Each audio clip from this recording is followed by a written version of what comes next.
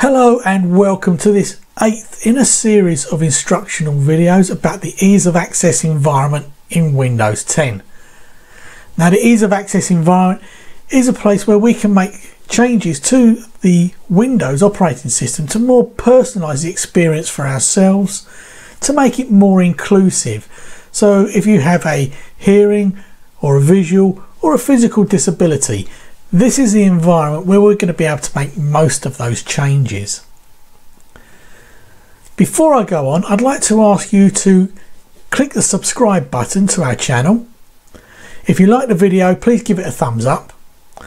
And if you want to be notified of any further um, videos that we produce, please hit the notification icon bell.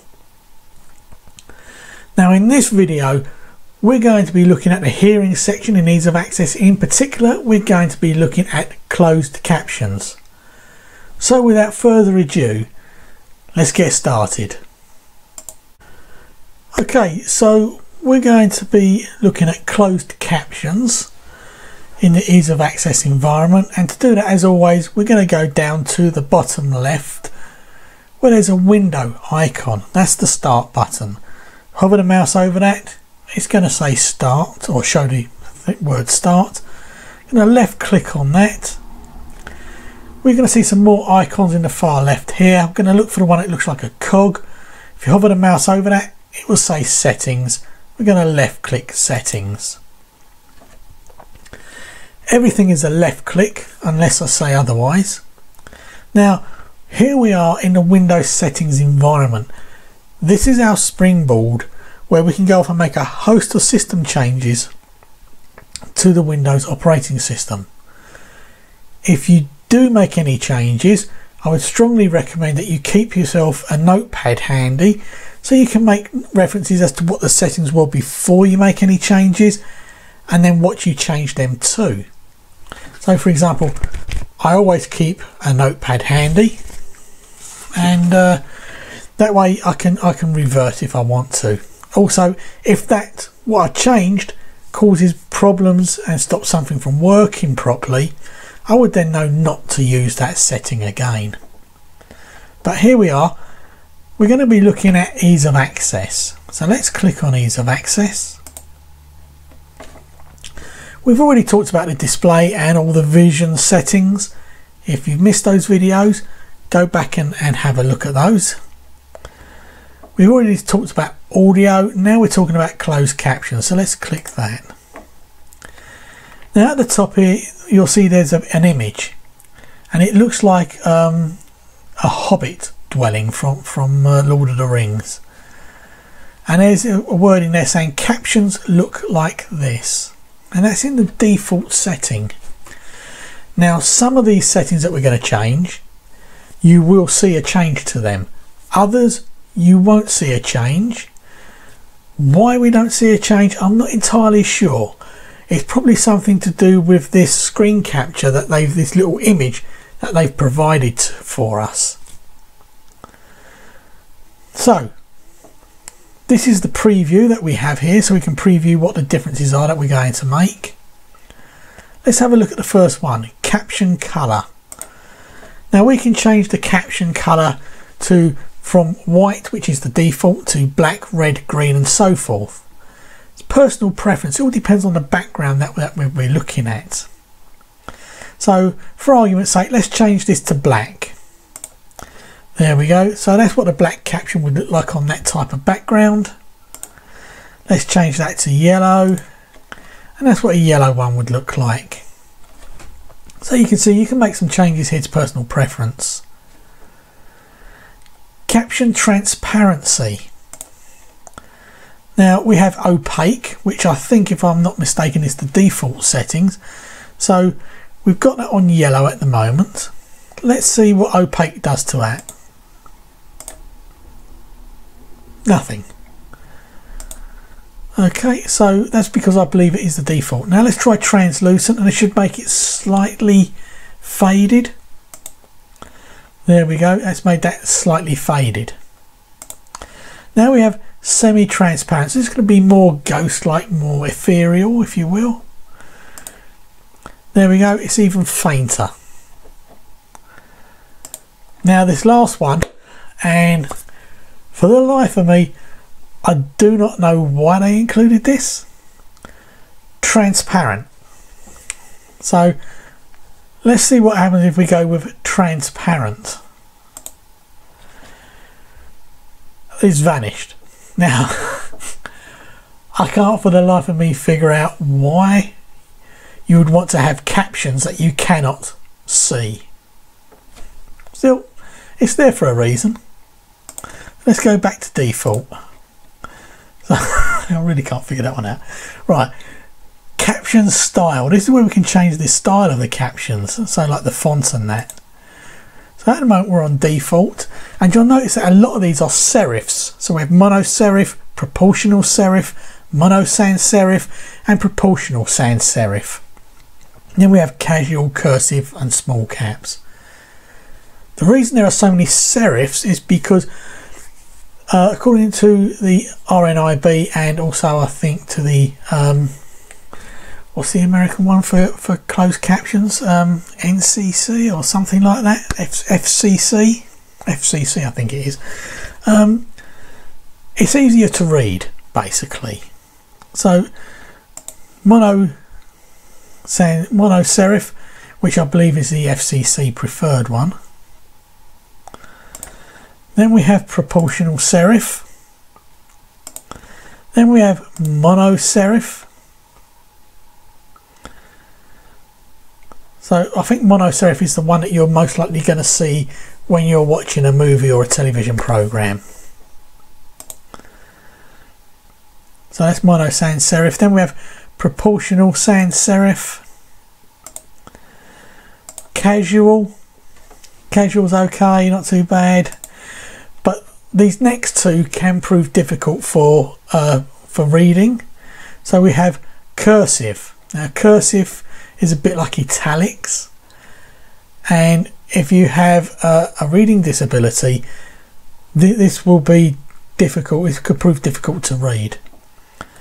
Then we have small caps, and I don't know if you've ever tried reading an A4 piece of paper where everything is in caps it, it, it, it just makes it really difficult to read. So, but it's there. You've got some options. Stick with the serifs. Let's go back to the default. Then we have caption size. So let's just bring this down so we can still see the, the uh, sample there. Caption size is where we can change how much of the screen the text would take up. Now the default that you can see there would be called 100%.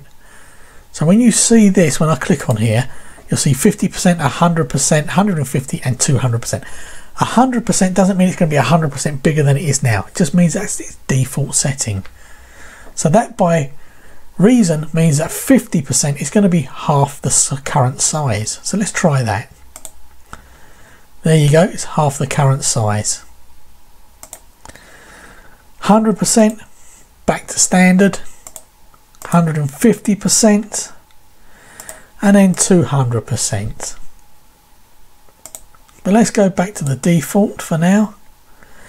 Then we have caption effects and I challenge you to spot the difference with any of these at least with this sample that they've get that Microsoft have kindly given us to see the differences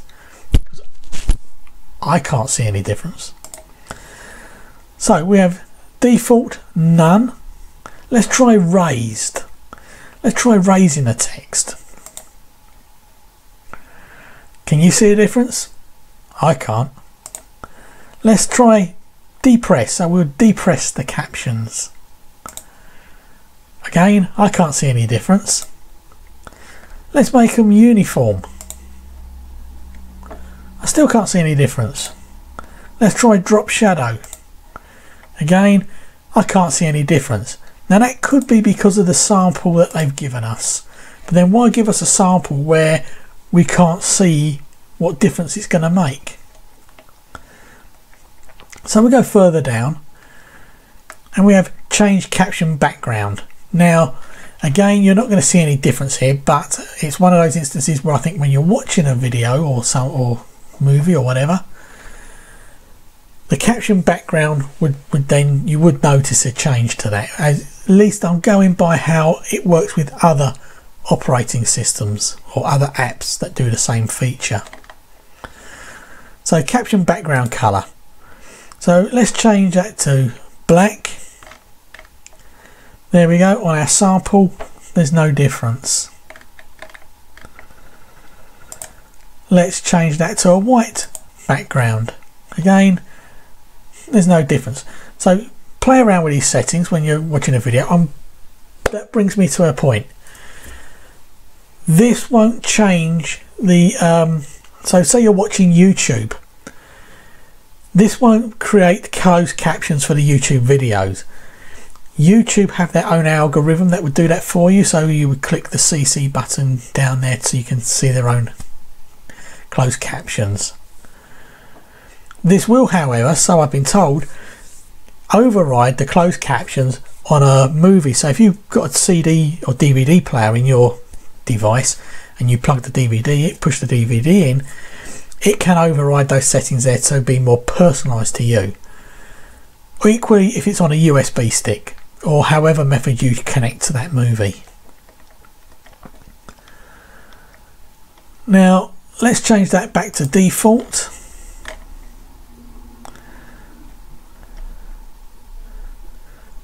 Then we have um, window color. Now we have white, black and so forth. Now I believe that that is to do with the actual window that you'll be watching the um, program through or the movie through.